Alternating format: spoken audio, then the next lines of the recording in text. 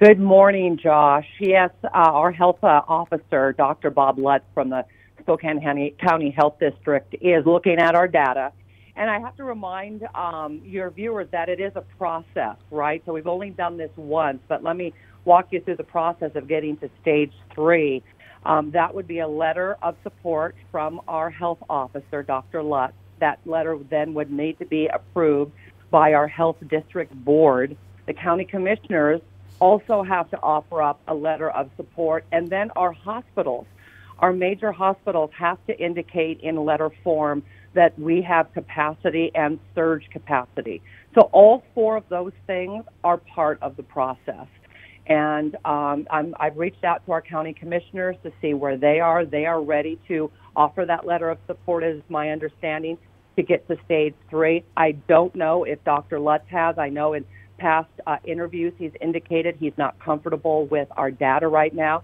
But let's talk about the data. So our increase, our number of ca- uh, positive cases have increased, but we're going after those positive cases through contact tracing. So we know our percentages are going to be ho- going to be higher. But if you look at the other metrics that the governor has laid out, that the health uh, Department of Health has laid out, we're meeting those. Our health system, healthcare system, is not being overburdened.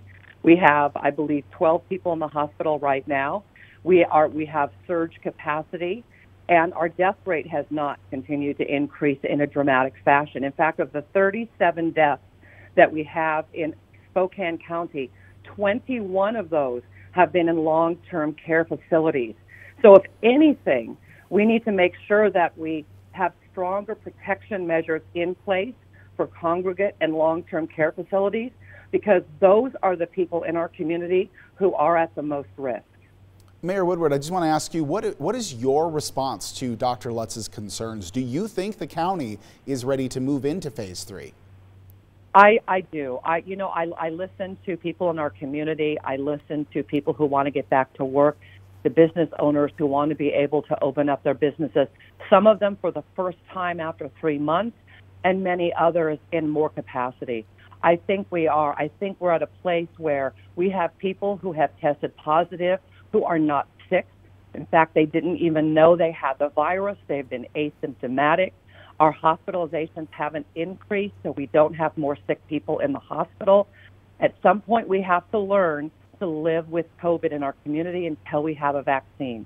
In the meantime, I implore people, as I have been for several, several weeks and months now, is to physically distance when you're out in public, wear your mask whenever possible when you can't be within six feet of somebody. But we need to get to a place where we open up our economy more. Our businesses are not surviving this, and people need to get back to work. Putting food on your table is a health issue for our community. We're right next door to a state that is now fully open and surrounded by counties that are now going into stage three. Spokane County needs to as well.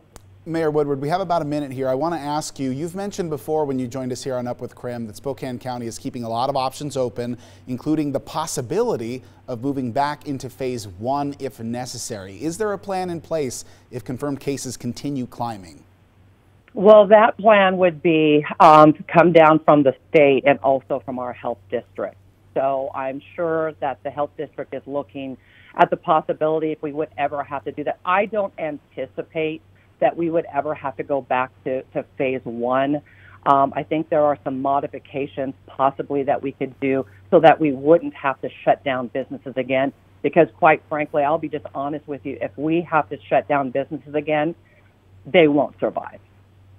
Of course, our conversation with Mayor Woodward will continue over on the CW22 starting at 7 o'clock this morning. We also want to encourage you to keep voting in our online poll. We will address the poll with Mayor Woodward coming up at 7 o'clock when we continue here on Up with KREM. Thank you for joining us this morning, Mayor Woodward. We'll check back with you in just a few minutes.